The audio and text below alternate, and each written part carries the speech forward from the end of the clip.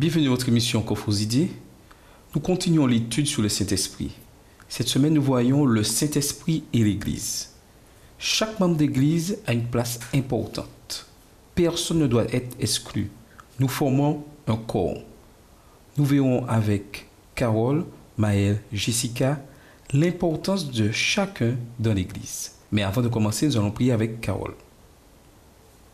Père éternel, nous voulons te dire merci de nous permettre d'être ici en ce jour. Merci pour euh, ce moment où tu nous permets de discuter autour de ta parole. Nous te demandons ton Saint-Esprit afin que Dieu puisse nous guider, permettre que tout ce que nous aurons à dire et les discussions que nous pourrons avoir puissent euh, rapprocher d'autres de toi et que ces paroles puissent servir à l'approfondissement de, la relation de chacun avec toi. Nous te réclamons ces choses, non que nous soyons dignes, mais au nom de Jésus pour la gloire de ton Seigneur. Amen. Amen. Depuis quelques semaines, nous parlons de cet esprit. Et cette semaine, nous allons découvrir quelque chose de très important. Mais avant d'entrer vraiment dans la discussion, pour vous, le Saint-Esprit est-il vraiment un guide? Oui. Après ce qu'on a compris durant cette leçon-là, puisqu'on a appris à découvrir qui est le Saint-Esprit. Mais oui, c'est un guide, puisque déjà, Jésus a dit qu'il nous laisserait le consolateur, un guide. Donc Jésus même l'a déclaré et nous savons que c'est un guide parce que c'est lui qui nous permet en fait de savoir si nous sommes sur la bonne voie ou pas. Hmm. Et il a dit clairement dans Jean 16, verset 13, on peut le lire, Jean 16, verset 13. Jean 16, verset 13, quand le, consolateur sera venu, l'Esprit de vérité, il vous conduira dans toute la vérité, car il ne parlera pas de lui-même, mais il dira ce qu'il aura entendu et vous annoncera les choses à venir. Tout à fait. Donc, nous voyons que l'Église est composée de membres. Mhm. Et, nous, et nous aspirons tous à l'unité. Si nous voulons l'unité, il faut déjà que le Saint-Esprit soit le guide de chacun de nous de manière individuelle. Que le consolateur vienne. Mais le plus souvent, lorsque, lorsque nous cherchons l'unité, nous cherchons quoi? La cohésion, la même, la même vision, le même, le même but, et puis euh, que, que l'on travaille de même accord. Mais je pense que souvent aussi, euh, l'erreur peut-être que nous faisons dans nos communautés, c'est euh, souvent on entend par unité, uniformité. C'est-à-dire qu'on a l'impression que tout le monde doit être de la même manière, penser de la même manière, faire les mêmes choses de manière, euh, je dirais, comme, un clonage, quoi. C'est-à-dire que, que, chacun ne peut pas penser différemment. On a l'impression que les gens ne peuvent pas être différents. Or, c'est pas ça l'unité. L'unité, c'est pas être, euh, être unique, quoi. Je veux dire, euh, il faut pas que, que nous soyons tous les mêmes. C'est pas ça. C'est pas, pas une uniformité.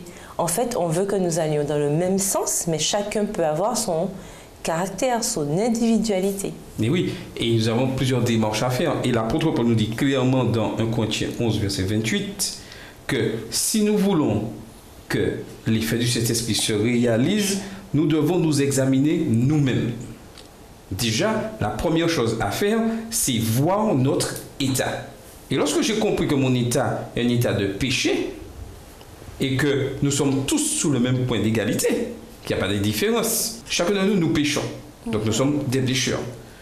Et lorsque je m'examine, je vois mon état par rapport au Saint-Esprit. Ça, nous avons vu ça dans les leçons précédentes. Et maintenant que je connais mon état et que le Saint-Esprit me dirige dans ma vie, et le Saint-Esprit fait tout rechercher l'unité, l'unité à ce moment viendra. Mais il est important que nous puissions nous humilier pour arriver à ce stade. Tout à fait. Donc, il est important de passer par cette étape. Pour vous, est-ce que le réveil au sein de l'Église est possible encore aujourd'hui? Ben oui, parce que tant que le réveil n'est pas individuel, le réveil ne sera pas collectif, comme on a dit précédemment.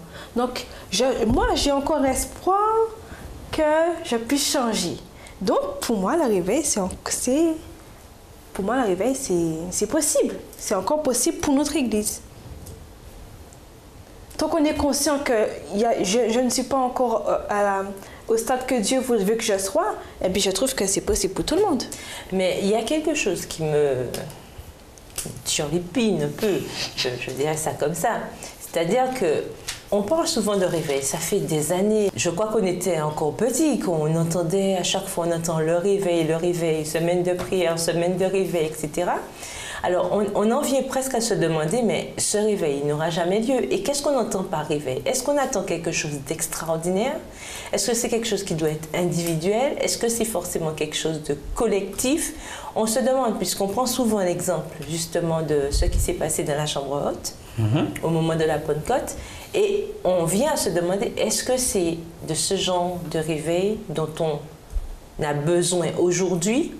Est-ce que ce réveil a déjà eu lieu, comment on sait qu'il n'est pas là ou qu'il a eu lieu? En fait, on se pose ce genre de questions. En fait, je veux dire, en tant que jeune, on arrive à se poser ces questions puisqu'on entend toujours les mêmes termes. Alors, c'est quoi ce réveil que nous attendons? Puisque, comme disait Maître, ce réveil doit être individuel. Oui. Ça veut dire quoi? Ça veut dire que je dois m'impliquer personnellement dans les affaires de Dieu. Si chacun s'implique personnellement dans les affaires de Dieu, forcément, on ira de l'avant. Tout à fait. Et avant, je pensais comme ça. En fait, pendant longtemps, j'ai pensé, enfin, du moins avant cette leçon, j'ai pensé que cet esprit n'agissait que d'une seule manière. Donc, l'effusion de cet esprit, c'est lorsque, comme dans la chambre de la Pentecôte, tout d'un coup, euh, tout le monde parle de langues différentes et c'est pour moi c'était ça. Donc, jusqu'à présent, on se disait, mais si ça ne s'est pas encore produit chez nous, c'est qu'on n'a pas encore le Saint-Esprit et qu'on euh, n'a pas encore le réveil qu'on attend. Eh bien, tu n'as compris ce que le fait. Pour moi, ou d'après ce que j'ai cru comprendre de ce qu'on a étudié, le Saint-Esprit se, donne tous les, se, demande tous les jours, et est accordé tous les jours. Et le fruit, le fruit de l'esprit, c'est l'amour, la joie.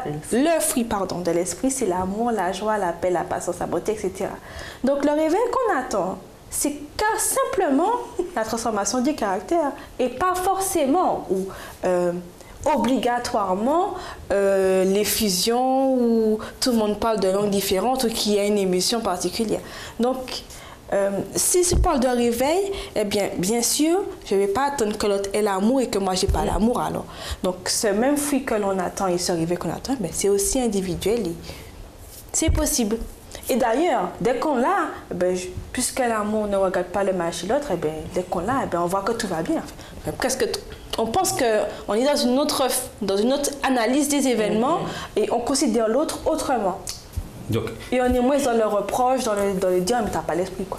Donc aujourd'hui, si nous voulons que nos églises deviennent prospères, il est important que nous donnons la place au Saint-Esprit dans nos activités. Tout à fait. on ne peut pas agir sans l'esprit. Donc, il est important que le Saint-Esprit.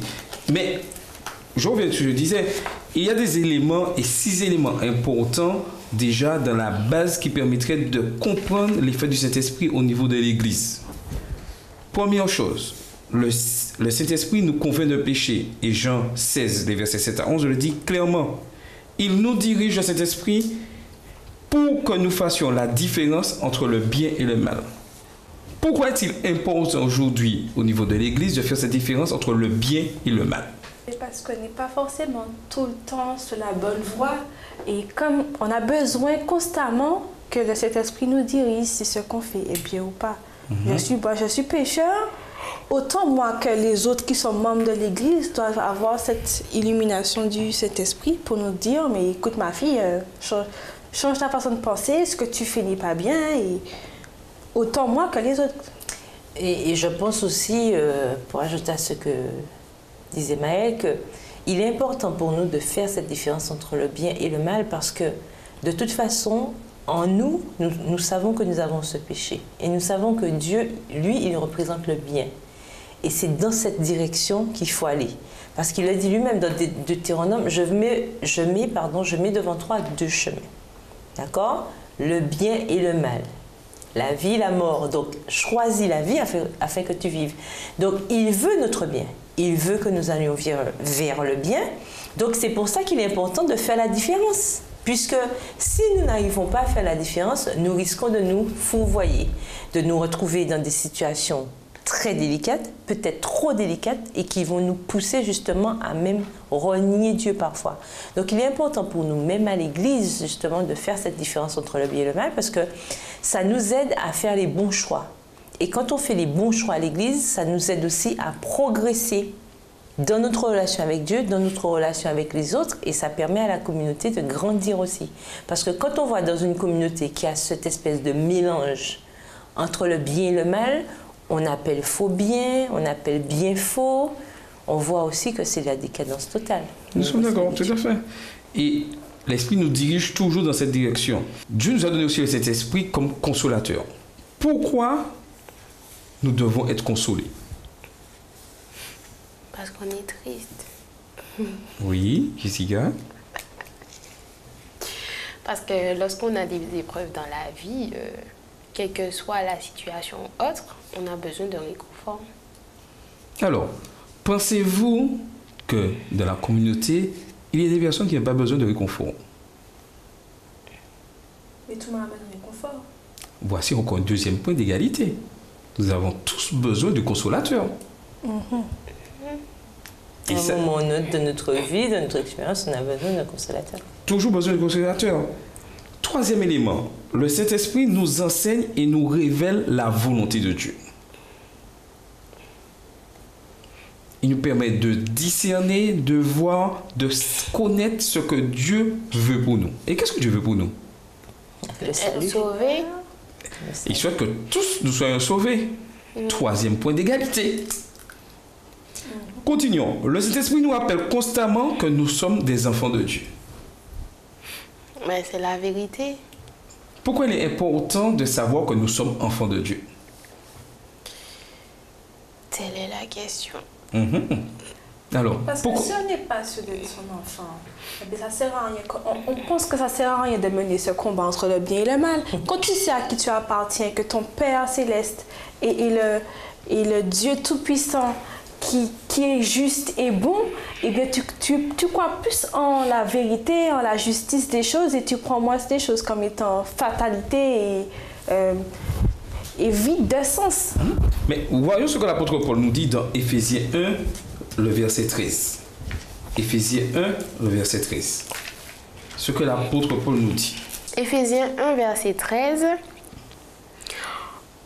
En lui, vous aussi, après avoir entendu la parole de la vérité, l'évangile de votre salut, en lui, vous avez cru et vous avez été scellés du Saint-Esprit qui avait été promis.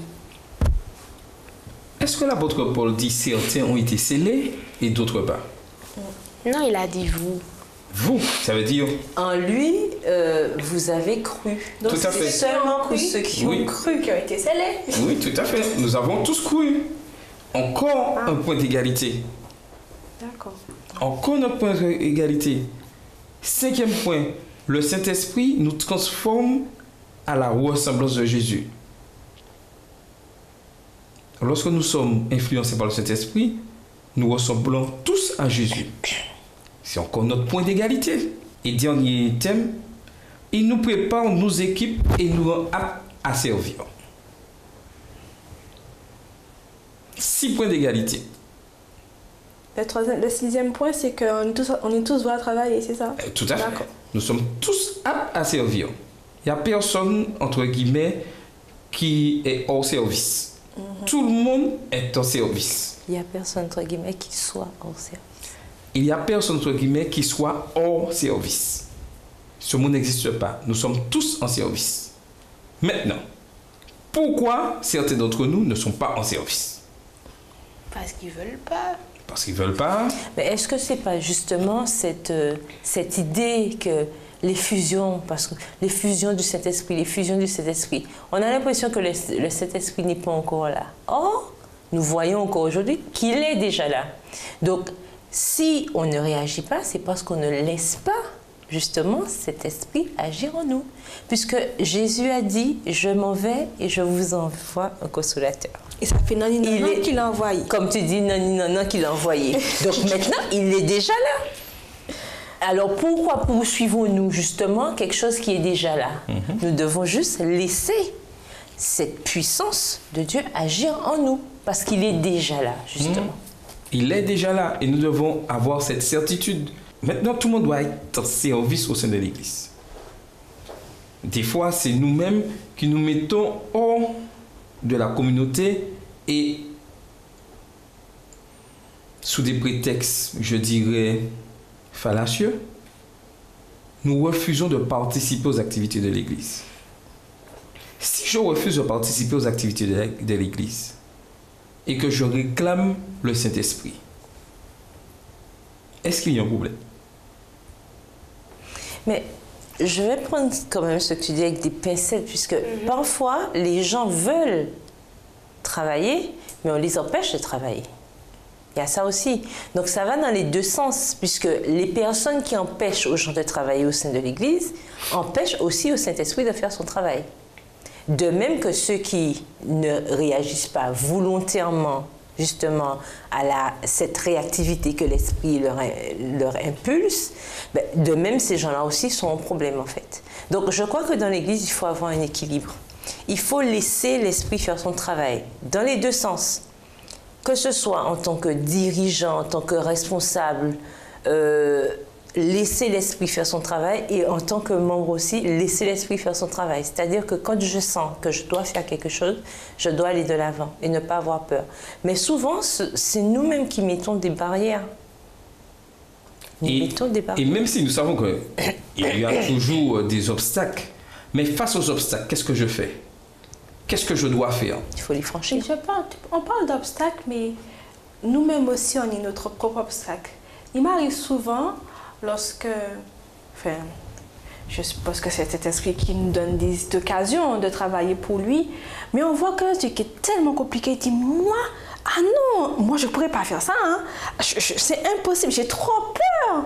Et, et, je me rends compte maintenant qu'on en parle que parfois nos propres barrières, c'est nous-mêmes et que même quand cet esprit t'appelle à faire quelque chose, on se dit, mais non, je ne suis pas capable, ou euh, c'est trop fort pour moi, ou c'est trop, c'est impossible que je puisse arriver. Et qu'il faut aussi laisser cet esprit faire ce qu'il ce a à faire, parce que s'il nous a finalement appelé, ben, il nous a appelé. Et le Seigneur nous a pas laissé seul, il nous a donné l'élément qui est la prière. Qui prie beaucoup reçoit beaucoup. Donc il faut qu'on ait le courage aussi d'aller de l'avant.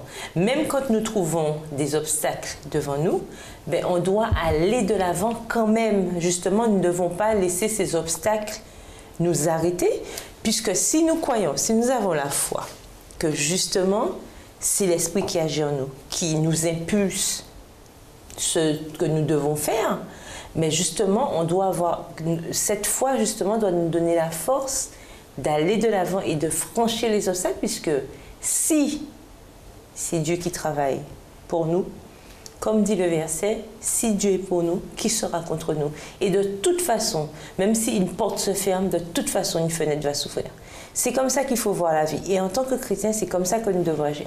En tout cas, moi, en tant que chrétienne, c'est comme ça que j'agis. Quand on ferme la porte, je passe par la fenêtre. Pourquoi? Parce que la fenêtre, c'est certainement Dieu qui l'a ouverte aussi. Et comme nous dit Matthieu 7, le verset 7, demandez, l'on vous donnera. Cherchez, vous trouvez, vous trouverez, pardon. Frappez, l'on vous ouvrira. Donc, si on insiste, mhm. de toute façon, il n'y a pas de raison pour que ça ne marche pas, mais il faut qu'on ait la foi.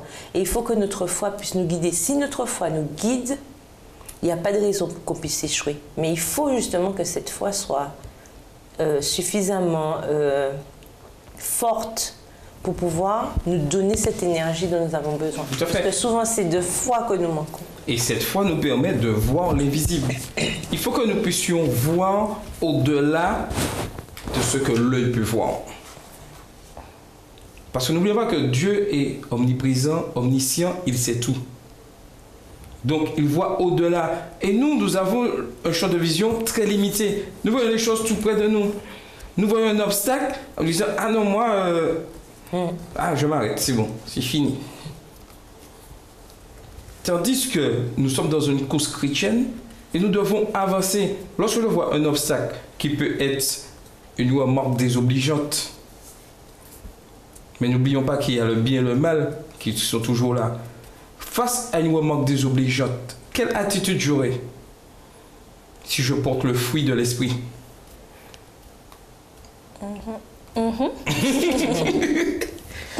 Voilà. Patience, maîtrise de soi. Maîtrise de soi, la joie. Mais c'est quelque chose quand même difficile, mais il faut que nous soyons, je dirais, réels dans ce que nous faisons.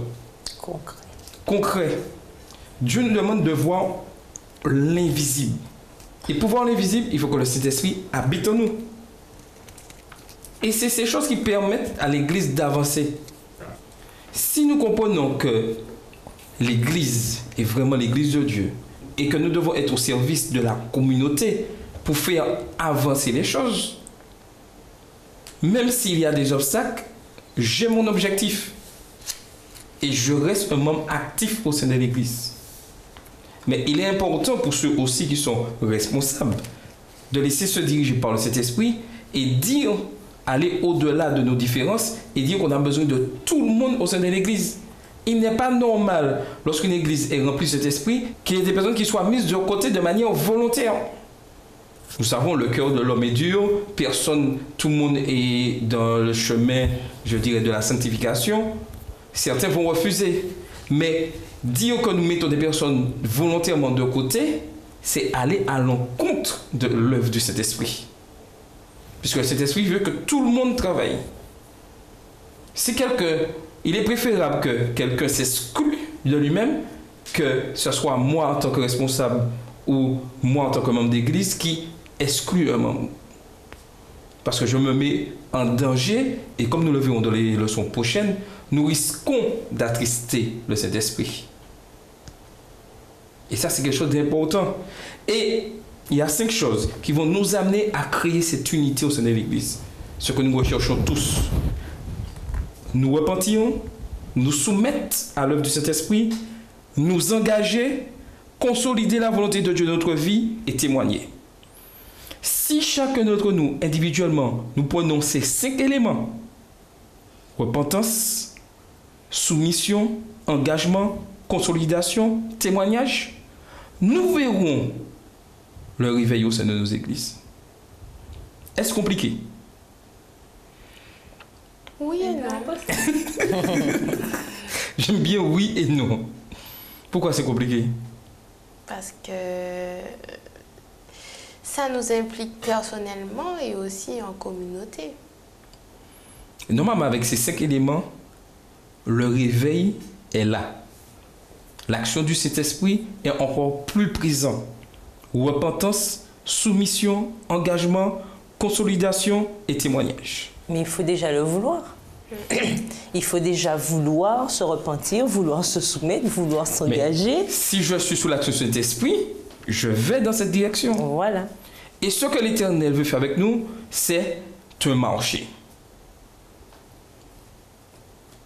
Il souhaite faire un marché avec nous. Imaginons que vous avez votre portable, vous achetez votre portable, vous, avez, vous connaissez les fournisseurs, je ne ferai pas de publicité, et on vous propose un contrat sur le portable, assurance tout garantie pendant 3 ans ou disons 10 ans de garantie. Ni portable. Un portable, 10 ans de garantie. Et puis euh, vous arrivez en chemin, quelque chose, et puis vous, vous- quelqu'un passe et puis heurte votre portable et puis il est écrasé. Quelle attitude vous aurez? Je suis tranquille, j'ai 10 ans de garantie. 10 ans de garantie, tranquille. Eh ben, c'est ce que ce que Dieu nous offre avec l'aide du Saint-Esprit. Mais pas 10 ans, toute notre vie. Il nous garantit qu'il sera toujours là pour nous consoler. Si nous avons des difficultés, remettons-le à Dieu. Débarrassons-nous de nos fardeaux. Et Pierre nous le dit clairement dans 1 Pierre 5, verset 7. 1 Pierre 5, verset 7. 1 Pierre 5, verset 7. Et déchargez-vous sur lui de tous vos soucis, car lui-même prend soin de vous. Et ça, c'est gratuit. Tout à fait. se décharger de nos soucis.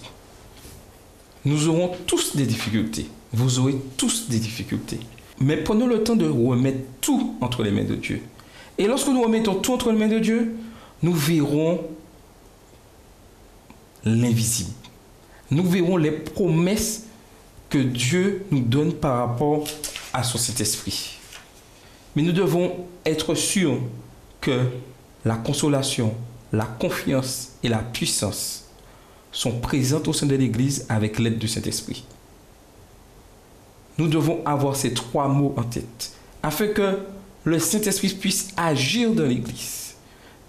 Et nous devons avoir cette conviction que le Saint-Esprit est présent dans nos communautés et prêt à agir. Mais nous, sommes-nous prêts? Sommes-nous prêts à le laisser faire? Vous êtes prêts? Êtes-vous prêts à laisser le Saint-Esprit diriger, faire son action dans vos communautés, dans vos vies? C'était votre émission Confosité sur Espérance TV Interamérique.